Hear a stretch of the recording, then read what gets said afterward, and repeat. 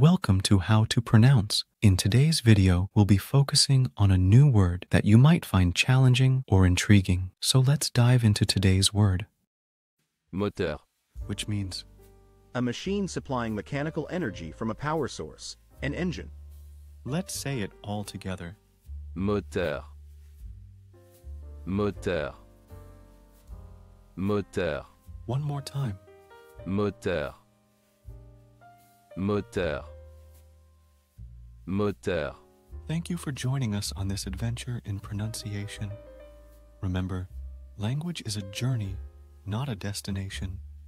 Keep exploring, experimenting, and expanding your linguistic horizons. We'll see you next time.